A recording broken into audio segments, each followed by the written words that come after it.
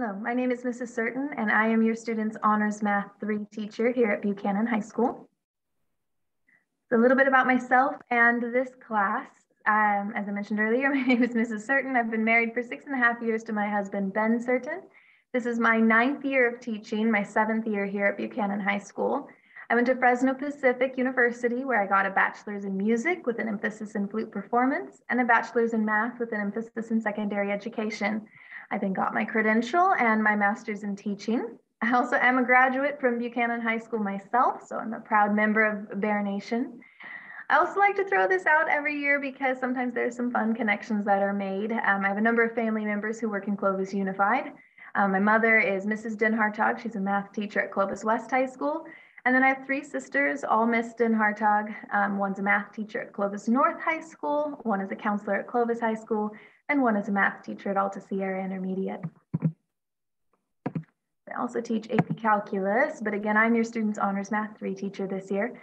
Um, it, for some rules and expectation, as well as a little bit about grading. Um, in terms of what to expect in class for your students, my expectation is that they're on time to class, that they actively participate daily, that they take ownership of their education, and that they're respectful to their peers and teachers.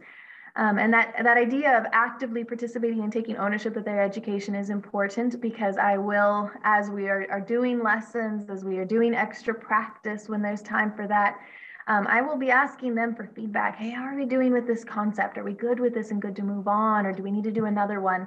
Um, and it's pretty imperative that your student is honest, right? And I, I, provide a variety of opportunities to provide that feedback, or I try to, um, because they obviously know what they're thinking better than I do.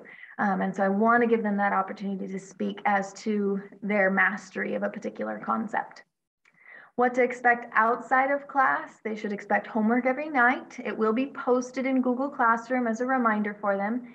And then they are expected to bring their notes every day to class. Additionally speaking, when it comes to those notes, if your student is absent, I post the filled out notes um, for every objective upon the completion of that objective. So as soon as we finish unit two, objective one, then I upload the filled out notes for unit two, objective one. I also fill or upload a video walking through the notes for most, if not all of the objectives.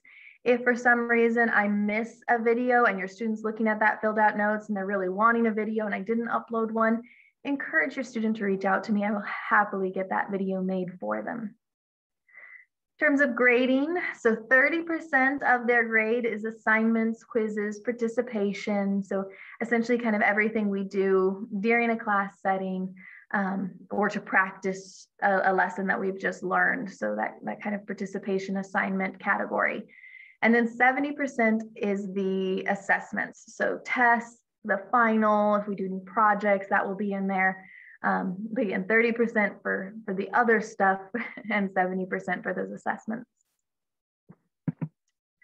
Um, I've included some communication information here if that would be helpful. So I included my email, Deanna Certain at clovisusd.k12.ca.us. Um, if your student has any questions at all, please encourage them to email me, or if you do, um, feel free to reach out. I am here to, to support you and your student to the best of my ability.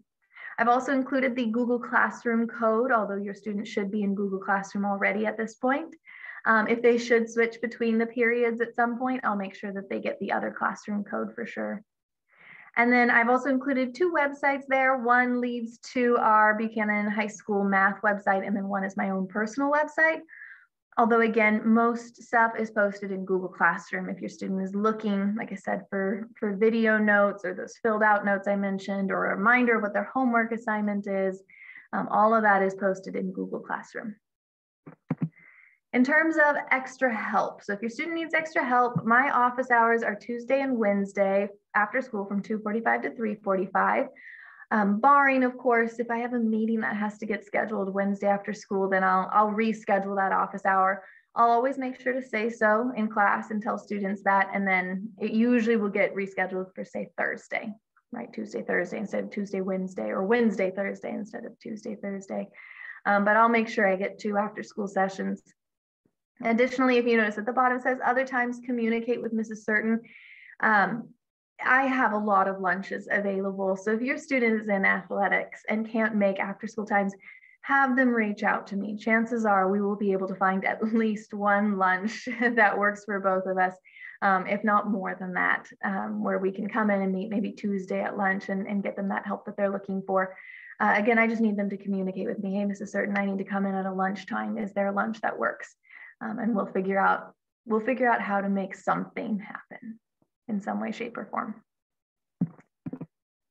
Okay, so again, my name is Mrs. Certain. Um, if you have any questions or concerns, please feel free to reach out. Um, it was so nice speaking with you.